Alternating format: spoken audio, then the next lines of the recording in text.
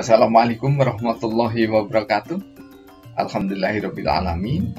Allahumma sholli ala Muhammad wa ala ali Sayyidina Muhammad.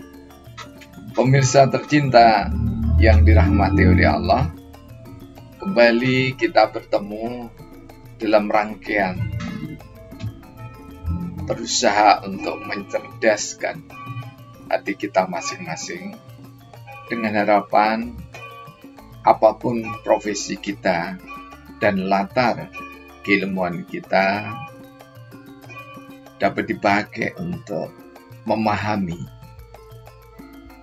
kearifan yang diabadikan di dalam kitab suci ataupun ayat-ayat yang terbentang sesuai dengan agama dan kepercayaan kita masing-masing. Kali ini kita akan melihat waktu. Kami tulis di dalam Sair Sabdena pada urutan ke 12.033 dan kami ambil bagian yang ketujuh. Kami sampaikan waktu wal komar sumpah pergantian hari dalam Islami. Rembulan bercahaya malam hari penunjang kesehatan insani. Ayamul bid disunahkan puasa bagi makhluk bumi. Di kala rembulan purnama siti, energi lebih memberkahi insan. Sangat bagus untuk kesehatan kulit, terjaga berseri, terjaga dari ragam sakit kulit bagi insan. Sungguh, nikmat mana lagi yang akan manusia ingkari. 2 Oktober 2020 Nah, pemirsa yang dirahmati oleh Allah Subhanahu wa taala, kalau kita berbicara rembulan, maka rembulan itu sebagai salah satu perhitungan di dalam tahun Hijriah. Namun, rembulan tidak sekedar diperintah bercahaya oleh Allah. Karena Allah sendiri berfirman, Rabbana ma khalaqta hadza batila subhanaka faqina adabana. Firman yang merupakan doa Nabiullah Ibrahim alaihissalam kalilullah kekasih Allah Subhanahu wa taala yang bertutur bahwa tidak ada penciptaan di jagat raya ini, kecuali semua ada manfaatnya. Tidak ada yang batil. Kalau kita berbicara puasa tengah bulan, puasa putih, sebenarnya bukan hal yang baru di Nusantara ini, terutama sesepuh-sesepuh. Namun hal yang menggembirakan saat ini adalah di era 1990-an sampai sekarang puasa-puasa sunnah lebih marak dan yang mengembirakan lagi pelakunya juga orang-orang yang masih terhitung muda. Nah, tak terkecuali dengan puasa putih yang disunahkan oleh Rasulullah Muhammad Wasallam setiap tanggal 13, 14, dan 15. Ada apa sebenarnya dengan puasa putih ini? Apakah sekedar memang untuk sunnah menjaga diri sendiri dari sahwat setani? Tentu yang demikian jawabnya iya. Karena jika yang dimaksudkan puasa itu adalah saum, maka dimulai dari puasanya hati, pengendalian hati. Dari pengendalian hati itulah maka panca indera syahwat manusia dapat terkendali. Jadi puasa bukan sekedar puasanya perut dan mulut, namun lebih dari itu puasanya seluruh anggota badan termasuk puasanya jiwa. Nah, di kala rembulan purnama siti dalam ungkapan Jawa atau bulan itu tengah-tengahnya besar.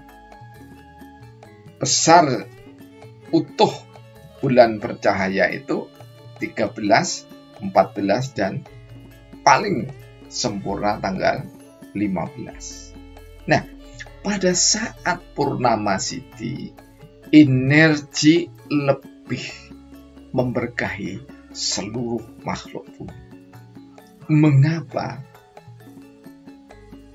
Allah menurunkan rembulan yang bercahaya sempurna supaya manusia ingat akan nikmatnya Allah.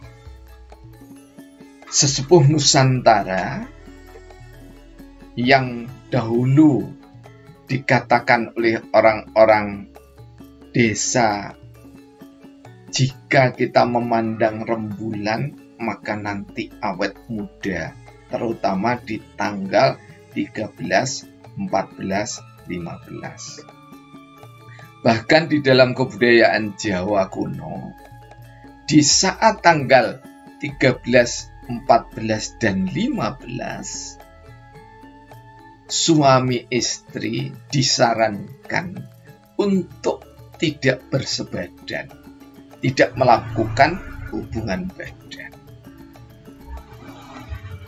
Orang Jawa menengarai bahwa hubungan persebadanan pada saat tanggal 13, 14, dan 15 ini kami belum membuktikan riset empiriknya. Seringkali jika hubungan itu nanti dikaruniai keturunan, maka keturunannya itu ada yang kurang sempurna. Setidaknya kita kaitkan bahwa mengingat tanggal 13, 14, dan 15 itu adalah keberkahan tersendiri aura energi lewat Purnama Siti, maka manusia Jawa Nusantara sepuh justru pada saat itu lebih banyak untuk mendekatkan diri kepada Allah.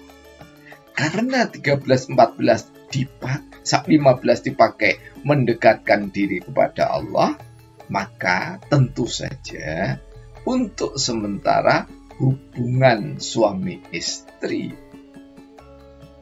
ditunda barang tiga Nah, sebenarnya kenapa? Ada apa sesepuh Nusantara Jawa itu keluar setelah sholat isya sekitar jam 9 sampai dengan jam 12. Ada di halaman rumah, kemudian berusaha seluruh tubuhnya itu diterangi oleh rembulan. Ternyata dalam penelitian modern pada saat rembulan purnama siti itu memancarkan ultraviolet dari matahari kemudian disampaikan ke bumi. Jika orang ini terus melakukan zikrullah meyakini bahwa energi dari rembulan itu berpengaruh pada tubuhnya terutama untuk kesehatan kulit maka insya Allah orang-orang yang rajin berpuasa di hari putih, kemudian keluar supaya artinya keluar rumah ke halaman rumah ke taman supaya terkena cahaya purnama siti secara langsung maka otomatis vitamin E yang ada di dalam tubuh itu akan ter, lebih terurai dengan sempurna insya Allah demikian. karena vitamin E itu terurai dengan sempurna, maka degenerasi yang ada di kulit itu bisa dihindari.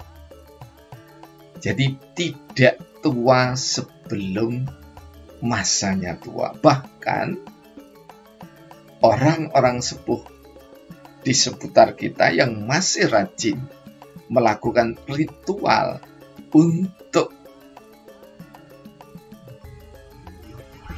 menghirup indahnya atau menikmati indahnya Purnama Siti, mereka terlihat lebih awet muda. Lebih tepatnya, kulitnya sehat.